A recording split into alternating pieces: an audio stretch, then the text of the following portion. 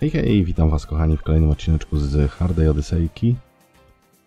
Eee, Harda Odysseyka, czyli tryb hard. E, czwarta mapka powinna być dość ez. E, więc co, no po to wzięliśmy brykieta, żeby z niego korzystać, tak?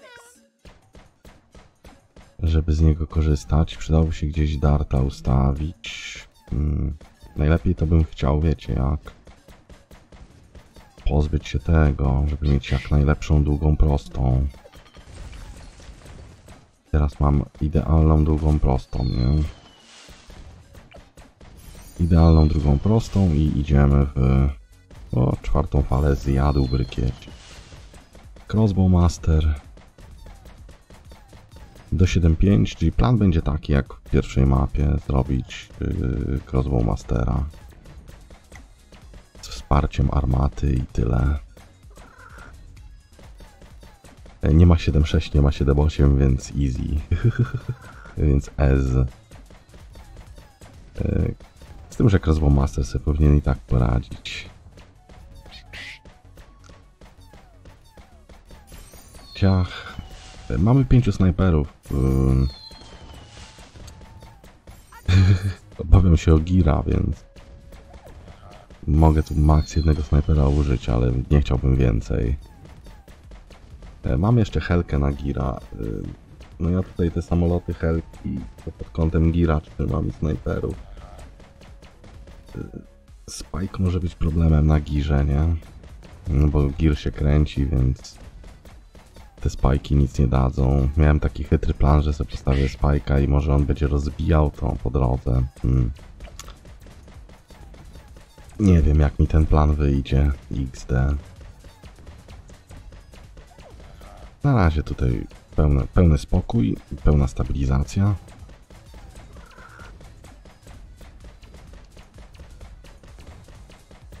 Oczywiście nic z wody nie skorzystamy, więc no brykieta nie postawimy na ostatniej mapie, niestety. Unludzky. Unludzky brykieta nie będzie na ostatniej mapie. No dobra, mamy w tej chwili kamo, mamy ledy, mamy wszystko co potrzebujemy do szczęścia. Tylko nam się miny nie generują, więc to może też trzeba było troszeczkę postawić tego darta jednak w przodu, żeby yy, miny się składały, nie? Jak przyjdzie runda z ledami, a ja będę na bieżąco miny rozrzucał, to może być ciepło. Więc myślę, że i tak, i tak sobie tutaj zorganizujemy jakieś jakiegoś supporta, czy zostawimy dwa działa na gira? To jest pytanie, no. Zostawimy sobie dwa działa na gira, tu sobie po prostu zrobimy wsparcie LEDowe takie, tak? Zrobimy sobie wsparcie LEDowe takie. Mamy jeszcze cztery chaty, więc jeszcze sobie możemy chatę dostawić, więc zrobimy tą mapę w ogóle statkiem. Oszczędzimy sobie ten, oszczędzimy sobie mm, działo. Bo tam przy girze jakby postawić dwa działa z dwóch stron, to jest szansa, że przynajmniej jedno będzie zawsze coś czyściło. Przynajmniej jedno będzie zawsze coś czyściło. Tutaj zorganizujemy sobie chatkę.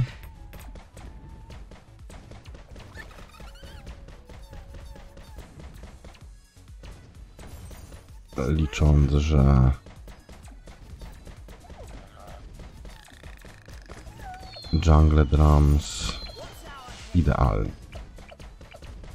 Idealnie i robimy kamo dla naszego statku, który idzie w górną ścieżkę, więc nie będzie miał tutaj możliwości kamo strzelania, ale najpierw destroyer, bo musimy się Moaba pozbyć. Więc najpierw sobie zbudujemy destroyera.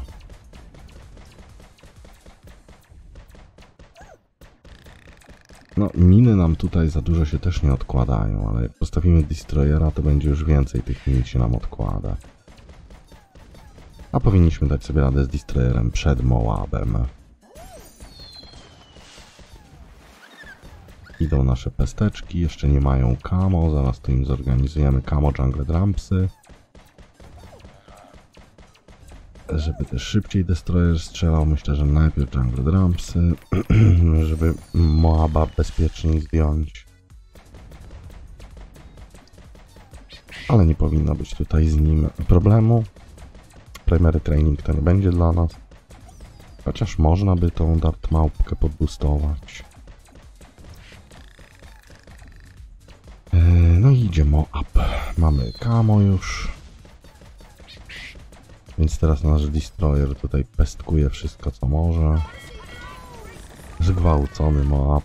Easy. No i na co zbieramy? Zbieramy chyba na aircraft kariera. Mimo wszystko. Mimo wszystko na aircraft kariera. Albo zobaczymy. Przydałoby się do 6.3 mieć jakiś power duży. Jeżeli mamy oszczędzić działo, to musimy mieć dość duży power na 6.3. Najchętniej bym zebrał na Crossbow Mastera najpierw. Bo raczej tu nam nic nie grozi, nawet po 50 z takim setupem jaki mamy. Więc raczej powinniśmy sobie dozbierać te 20 tysięcy na Crossbow Mastera, żeby on tutaj zabezpieczał nam flankę. Później sobie zrobimy Aircraft Carriera. I tyle. Można by też pomyśleć o tym, żeby zamiast Crossbow Mastera zrobić Aircraft Carriera i, i, i piąty tier statku. To by było broken. Gdyby nam się takie coś udało, ale... Ale pomalutku, pomalutku. Nie, nie od razu Rzym zbudowano.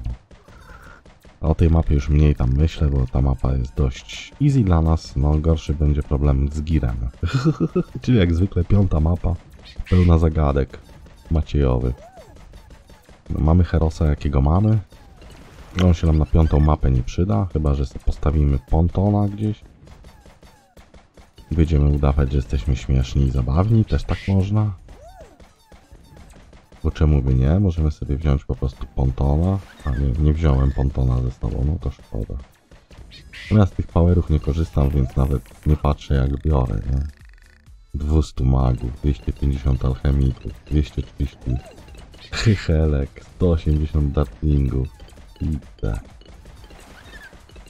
No i dobra, w ten oto sposób dobrnęliśmy w 52 rundzie, dobrniemy do yy, Crossbow Mastera. No i teraz zbieramy sobie na Aircraft Carriera i no w zasadzie teraz kupujemy, bo se kupujemy. Teraz możemy ten Primary Training kupić, bo on się przyda tutaj Crossbow Masterowi, nie? Zawsze tam trochę yy, More Range, Pierce and Projectile Speed zawsze mu się przyda. To jest piąty tier, więc upgrade za 800, który boostuje piąty tier jest broken. Im wyższy tier e, towera, tym bardziej opłaca się go buffować tanimi rzeczami, bo one dają dużo, dużo potęgi, dużo. Ale tutaj jak widzicie, mało co nawet dochodzi do tego Crossbow Mastera. Mamy samolota.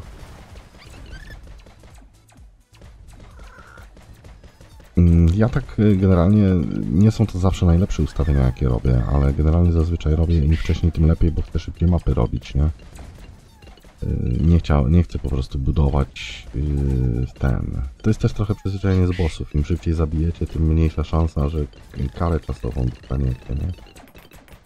Jeżeli robimy normalną mapę, to są zdecydowanie lepsze miejsca, gdzie mają większe zasięgi małpki, nie?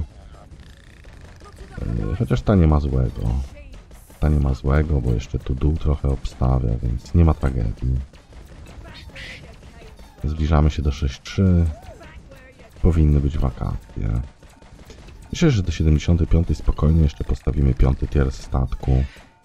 I to już będzie tak gigantyczny overkill, że szkoda gadać. Możemy jeszcze dać mentoring, żeby nasz y, Crossbow Master miał większy zasięg. I teraz okazuje się, że y, no, można go było postawić gdzieś tutaj, koło kwiatka i miałby wtedy prawie całą mapę, nie? No 6-3 coś tam sobie nawet miało zrobić. Niewiele się to udało. W tej 6 trójce nawet tu jakieś półceramika zawróciło na kółko.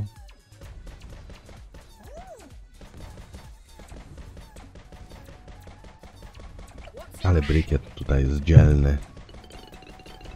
On tutaj robi hard carry. 25 tysięcy popa, to niech kid dmuchał. Oczywiście, tu mamy 60 tysięcy, tu mamy 30 tysięcy, bo mało co tu dochodzi. No ale Tower jak na 900 manki mamony, który wygenerował 30 tysięcy popa, który oferuje na przykład coś takiego, że boostuje mi statek teraz. Ten statek jest wtedy zwariowany przez, przez chwilę, nie? To jest dość dużo, to jest dość dużo. Ten statek po prostu wariuje w momencie, jak kliknę jedynkę. Dlatego też Bricket często był towerem do robienia late game'ów, podbufowania, jak było jeszcze mniej paragonów, albo w ogóle paragonów. Late game polegał na mocnym VTSG, to się go budowało na wodzie, nie? I ten... I brykieta się brało, żeby bufował, bo zobaczcie, bu bu bum i po prostu wariactwo, ten statek jest zwariowany. Ten cooldown jest na tyle krótki, że co chwilę można to mieć praktycznie, szczególnie jak się postawi suba 5.00 to ten cooldown wraca momentalnie. No i dobra, będzie nas stać jeszcze przed końcem chyba na to.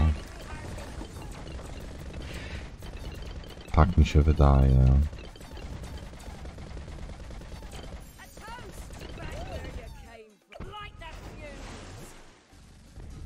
Dwadzieścia siedem koła, dwie rundy. Dwa koła, dwie rundy. Damy radę, damy radę. Damy radę. Chcę to zrobić. Chcę to zrobić. Nie mam nawet co sprzedać. Gdybym nie zrobił mentoringu, to byśmy mieli. Już dawno. I jak chcę statek, jak chcę statek przed końcem gry, jak chcę statek. Jest. Przed 75 mamy statek. D. I możemy bufa tutaj strzelić i GG. GG. No mamy setup taki, że możemy chimpsa robić, nie? Trochę supportu dodać i, i byłyby szanse. Zużyliśmy jak na razie 12 małpek, czyli średnio wychodzi po 3 na małpkę. Najwięcej zużyliśmy do tej pory na yy, ten, wiecie na co, nie? Na deflację. Dobra, 1,70. No prawda jest taka, że brykiet nam się tutaj nie przyda. No prawda jest taka, że musimy mieć darmową małpkę i najpierw spróbujemy na rozpędzanie się snajperów. Najpierw spróbujemy na rozpędzających się snajperów.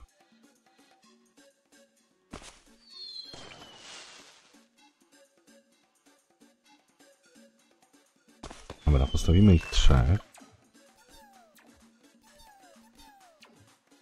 I zobaczymy jak to się będzie rozpędzać. Najgorsza będzie czwarta runda, na czwartą rundę jeszcze będziemy mieli darcika, nie? Poza tym mamy pełne życie do tej pory, nie ma tragedii.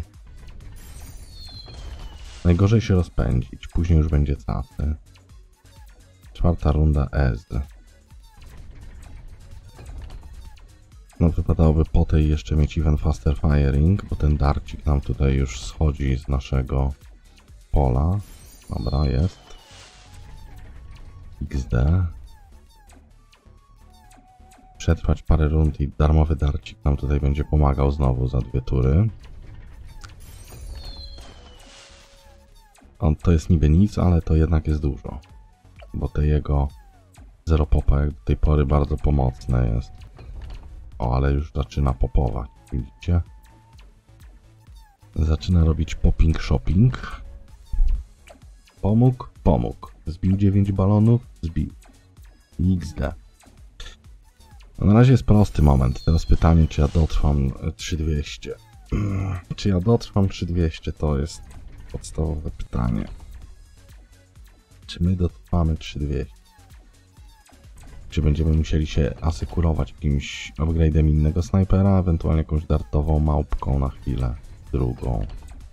Albo upgrade'em tej małpki, nie? To są trudne pytania. To są trudne pytania, które wymagają trudnych odpowiedzi. Jak na razie nie wygląda to źle. Trzech snajperów na start na trudnych mapach jest ok. Bo jednak zanim się ci snajperzy rozpędzą, to trzy strzały, a nie, a nie dwa to jest wartość. Jak na razie tragedii nie ma. Gdzieś tam te balony za daleko nie idą. Tu, tu, tu, tu, tu. W złą chwilę to powiedziałem. Na szczęście mamy kolce jeszcze. No jeszcze musimy tysiąc przeżyć. Tysiąc pieniądza musimy przeżyć. 3240 to w zasadzie 1200 pieniądza musimy przeżyć. Oj, oj, oj, oj, oj, oj, oj, oj, oj, oj, kolce nam się kończą. Jeszcze 800 pieniądza. Jeszcze pia... Oj, tu to będzie dużo. Oj, oj, oj, oj, tu to możemy nawet umrzeć, jak to tak źle pójdzie. Żyjemy. Boże, Macieju, spowolnij to trochę. Bo my musimy tutaj szybciutko... Nie, dobra, to nam nie wyjdzie. Znaczy teraz będziemy mieli, no to trochę, nie, trochę to zrobiłem, nie? Ale kto się tam by przejmował uczciwością w moim przypadku. Trzeba było takiego snajperka dorobić po prostu i tyle. Ale Maciej lubi żyć na krawędzi. Więc tradycji stało się zadość. Jest zgon na Odysejce. XD. Tradycji stało się zadość, kochani. Jest Odysejka ze zgonem? Jest. Jeden wykup się należy. Na każdą Odysejkę jeden wykup się należy, to jest uczciwe. XD. Dobra, teraz zbieramy na Bouncing Bullet. W momencie, w którym kupujemy już ten semi-automatik, jesteśmy w miarę bezpieczni przez jakiś czas. Problem jest inny, zbliża się Moab, e, a tutaj ten Moab też nie będzie zbyt przyjazny dla nas, więc my tutaj już poorganizujemy sobie Deadly Precizyna, kochani. Poorganizujemy sobie Deadly Precizyna, bo musimy. A na 50 main Moaba musimy, nie? Więc zrobimy sobie Deadly Precizyna najpierw. Tu widzę wszystko drogie. Więc Deadly Precision. Yy... Po Deadly Precisionie wrócimy do mm, Bouncing Bulleta. Po Deadly Precisionie wrócimy do Bouncing Bulleta, bo oczywiście będziemy mieli tutaj też dobrego snajpera damage'owego, także spokojnie. Jakoś ten Bouncing Bullet chwilowo wytrzymamy bez niego. Bo jakbym teraz Bouncing Bullet kupił, to byśmy już nie nazbierali na ten Deadly Precision, a jednak Deadly Precision na Moaba, wiecie, 20 w mordę to się liczy, nie? 20 w mordę to się liczy. No i teraz y, Bullet. Może nazbieramy jeszcze ten Bouncing Bullet? Zobaczymy. Zobaczymy, kochani, czy nazbieramy Bouncing Bullet jeszcze. W sumie... W sumie powinniśmy. W sumie powinniśmy.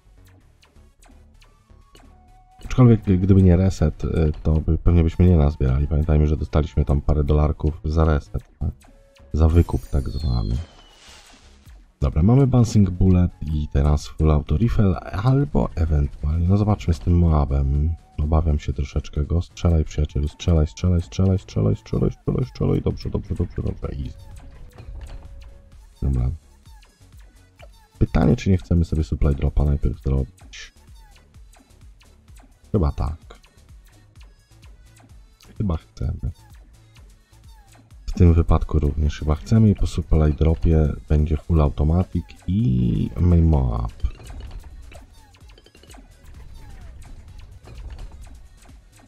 Ten supply drop to nie są tylko pieniądze, to jest większy sharpnel popping e, power, więc te nasze rozpryski na, na tyły będą więcej nawalały, a to jest dużo. To jest dobra broń na spam. To jest dobra broń na spam baloników. No i poza tym teraz łatwiej nam się nazbiera na nasze potężniejsze snipery. Oczywiście w pierwszej kolejności Mime Moab teraz. Niestety, bo zbliża się 50 poziom, 50 runda się zbliża i no nie będzie nas stać chyba na full automatika. Main Moaba musimy mieć od 50 i to nie podlega żadnej dyskusji, żadnej, żadnej dyskusji to nie podlega, Main Moab musi być. I teraz full auto rifle. Może nawet się uda w okolicach 50, tuż przed 50. Udało. Ale to tak jak mówię, z dwóch powodów. Po pierwsze zbudowaliśmy supply dropa, więc już dostaliśmy przed 52 supply dropa, tak? Mm, no i ten wykup, tak, spowodował, że, że nam się to opłaciło. No dobra, zbieramy pieniądze na piąte tier. żeby nam tutaj spam uratowały troszeczkę. Można pomyśleć też o samolocie. Ale samolot tu najlepiej by stał gdzieś pewnie. By się kręcił naokoło, nie? Więc tutaj już tego samolotu nie postawimy. XD. Ale spróbujemy. O, main map tutaj jest naprawdę potężnym narzędziem snajperskim.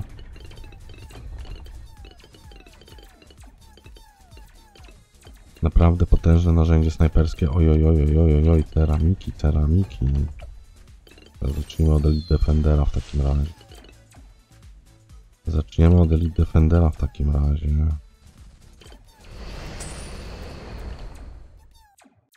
Bo tu się niedobrze rzeczy dzieją w państwie Maciejowym. Teraz będzie Elite Sniper. W ogóle snajperzy... Maciej mówi, że ma hejt na snajperów. No ma, ma. Maciej ma hejt na snajperów, moi drodzy. Yy, A, a ta liczba pokazuje, jak duży hejt na snajperów Maciej ma. 400 milionów expa. Mogę... Czekam z niecierpliwością na Paragon, bo, bo bym coś z tym expem zrobił. XD. 400 milionów expa na, na snajpera. Yy, Ale jakby co, ja nie lubię snajperów, hejtuję snajperów i w ogóle, nie? Yy, Sniper noob. Nie no, snajpery są mocne. Naj, naj, największą krzywdę, jaką zrobili snajperowi, to to, że full auto rifle nie bije już LEDów automatycznie, a kiedyś bił. To jest największa krzywda, bo taki snajper 024 był potworem, był potworem. Miał kamoledy w sobie, miał damage, miał wszystko. Miał attack speed, był po prostu bogiem, był po prostu bogiem gry. Zrobili mu taką krzywdę, że hej. First. No i moi drodzy, 63 powinna nam... O, gdzie przeszły te ceramiczki, żeby nam było łatwiej jeszcze docelowo, to sobie drugiego takiego zaczniemy budować 2.4.0. Bo to jest dość krótki track, żebyśmy tutaj mieli czyszczonkę, ale jak widzicie 64, po, 63 po prostu yy, została zmasakrowana, bez pomocy żadnego działa, armatki, niczego, po prostu Sniper City. Sniper City czyści wszystko. Tak, e, generalnie nie jest dobre ustawianie tutaj snajperów, ponieważ gdybym chciał teraz chatę jakąś na support, no to musiałem zrobić ją tu, a ona by się krę kręciła, nie? Więc dużo lepiej byłoby po prostu zrobić chatę, nie? Dużo lepiej e, w tym wypadku, jakbyście chcieli sobie tą mapę robić. E, zaraz wam pokażę. To najlepiej po prostu zrobić tak, że stawiacie sobie chatę rabat rabat, nie? I dopiero sobie budujecie naokoło niej snajperów, nie? Nie dość, że taniej, to od razu możecie tu pomyśleć o jakichś jungle rampsach na przykład. Yy, I mieć pięknych snajperów, tak? Którzy są tańsi. Bo generalnie można nawet chimpsy robić czymś takim i wtedy jest fajniej właśnie, bo chata rabatowa obstawiacie 20 snajperami i S. I S-a. I ESA 7700 to już czwarty tier tyle samo nie? To jest 70 tura, więc my już tutaj nic nie powalczymy. Niestety. Albo na szczęście. Tak, y, standardowa jedna wtopa, y, czyli y, Odysejka bez śmierci jest nubska, musiał Maciej raz umrzeć, ale dostajemy za to 100 prezentów. Dzięki temu, moi kochani, 25 pucharów, dzięki temu, moi kochani, otwieramy paczuszkę, albo nawet dwie. Bierzemy dwie helki, bo Maciej helki zbiera, więc Maciej chce piątki helek, poproszę. Dziękuję. Bardzo wdzięczny jestem za te wspaniałe trójki. No jeszcze jedna heleczka. Piątka. No, super. XD. E, ile już tych naotwierałem, czyli skrzynek eventowych w ten event, nie wiem. Wiem, że w sumie naotwierałem ich już bardzo dużo. Pomimo tego, że miałem duże przerwy z graniem, to cały czas już 523, czyli w ten event jakieś 60 już otworzyłem, się 60, 70, dość dużo, dość dużo. Mm, dość dużo. Mm, więc tak to wygląda, moi kochani. Yy, to tyle. Zrobiona Odysseyka. A jak wygląda yy, ten CT, bo może Was interesuje, jak sobie radzi Ponic Hubs. Ponic Hubs tutaj coś zdobyło, nowy relikt, ability, a, abilitized, all activated abilities reduced by 10%. Widzicie, mamy trochę tych artefaktów. Jakieś zginęły, szczególnie jakiś jeden, który ja korzystałem. Bo widzę, że mam dziurkę, że mam dziurkę. Mamy Eldorado, to jest dobry relikt. By 25% nagrody za zdobycie. E, no i mamy dość ciekawy tym razem CT. Ciekawy, ciekawość polega na tym, moi kochani, że ciekawość polega na tym, że tutaj drużyny się stawiają i tu wszystkie drużyny się stawiają. Nie ma tak jak w poprzednim CT, że zamknęliśmy wszystkich i było fajnie. Tylko zobaczcie, tu niebieski nam wchodzi w pupę. Tak, ja się denerwuję, bo to nie jest mój baner, a ja się denerwuję, bo to jest mój baner i to jest mój baner. A tu już podszedł nam w pupę, tak? Różowy podchodzi tu, ja się denerwuję, bo to jest mój baner, tak? No i mam baner jeszcze gdzie? Gdzieś tu? Tak, a tu różowy mi podszedł pod mój baner, więc ja jestem w nerwicy natręt dzisiaj, tak? ja jestem w nerwicy natręt. Natomiast jak widzicie, stabilne e, top 1 lokal yy, się kreuje. Mapa wygląda dużo ciekawiej i dużo więcej mamy walki, ale no ale mamy Olinka, no nie oszukujmy się, mamy Olinka, kochani, yy, Olinka, który, o, widzicie, zdobył sobie bossa, po dobie ma, już od jakiegoś czasu nie daje, dalej ma 4 minuty i nikt nie chce tu podejść, nie? Jak Olinek go nie zrobi, to, to nikt nie podejdzie, nie? Jak Olinek go nie zrobi. Kolejny jakiś tam bosik Olinka, yy, no, o, standardowy bosik Olinka w CT, wynik 30 sekund. No, taki tam se bosik. Standardowy bosik. No i tego bossa nikt nie przejmie Olinkowi, nawet jakby tam, nie wiem, walił klocka na uszy. To nie da rady żaden chłop. On podobie będzie ten boss nie do wzięcia. Chyba, że Olinek narysuje na tym, na Discordzie, jak, jak go zrobić. to, to może, to może będzie podobie do wzięcia. No i to są takie flagi, które Olinek po prostu bierze, nie? Flagi, czy tam to jest relikt i my wiemy, że tu naokoło nie musi być żadnego defa, tak? Bo nikt nawet nie kliknie tego, żeby czas marnować. XD. E, jeśli chodzi o leaderboardy, nasza dzielna drużyna trzyma się tego top 25, ale będzie ciężko. Będzie ciężko, bo mapa jest waleczna, jak widzicie. Mapa jest waleczna i, i ciężko, i ciężko jest, bo dużo pól tracimy i musimy odzyskiwać. Nie mamy całe dnie mm, tych pól i tu widać nawet, że i ja słabo stoję, bo E, no bo tak jest, no bo tak jest, że słabo stoję. Pierwszego dnia straciłem flagi i tyle, i tyle. E, I próbuję się z tego jakoś otrząsnąć, trząsnąć. E, aczkolwiek nie jest letko, nie jest letko. No tu żółty odcięty troszeczkę, ale tu jeszcze ma trzy pola, żeby całkowicie odciąć żółtego. To odcięliśmy żółtego, to wchodzi fioletowy, niebieski nam ora plecy więc no robi się niebezpiecznie. Aczkolwiek stabilnie, no raczej nie powinniśmy mieć tutaj problemu, tym bardziej, że żółtego zbiliśmy do, tylko do 80 przyrostu, a my mamy 1200 przyrostu, więc no e, każda godzina tutaj generuje nam troszkę więcej niż jemu.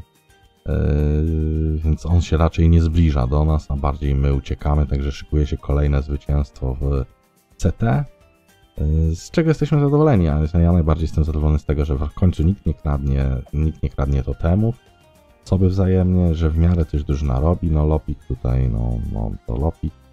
Lopik i Kapiec to są dwie osoby, które raczej będą szykowane do wymiany na mocniejszy model. Reszta jako taka sobie radzi, nie mam tam problemu z tym, że lewy ma tysiąc o ile odbiera bilety, a to już są przyzwoite wyniki. To są już naprawdę przyzwoite wyniki. Widać, że ktoś gra aktywnie, coś robi, tak? To są już przyzwoite wyniki, tak? Więc jeżeli miałbym się do czegoś przyczepić, to troszkę do, do, dodam lewa, a tutaj dwójka graczy, to wiadomo co.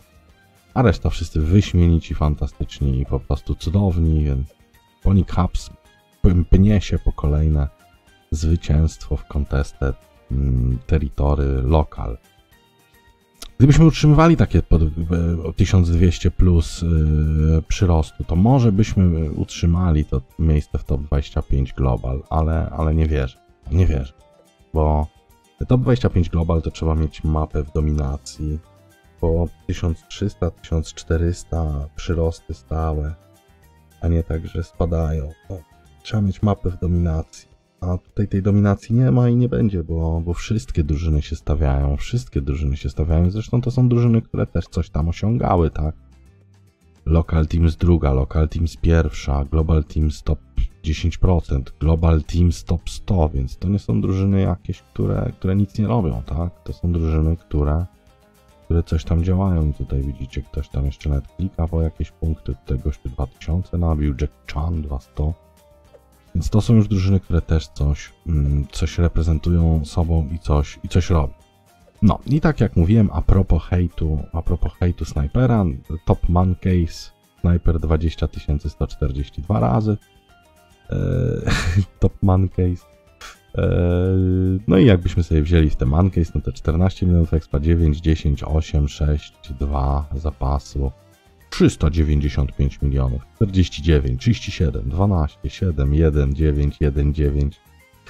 No te paragony jak wejdą, to zużyją mi prawie całego expa, 18 milionów, 9 milionów, 23, 160 milionów u alchemika i 16 u druida, w suporcie 40 milionów banana farma i 18 milionów hata, no ale nawet jakbyśmy pozbierali te wszystkie 40 milionów pozostałych, czy nawet dorzucili 160 milionów alchemika, to ciężko w sumie byłoby przebić 400 milionów, które mają snajperzy. Wydaje mi się, że wydaje mi się, że gdybym sumował expa wszystkich moich towerów, to i tak snajperzy mają więcej niż reszta świata.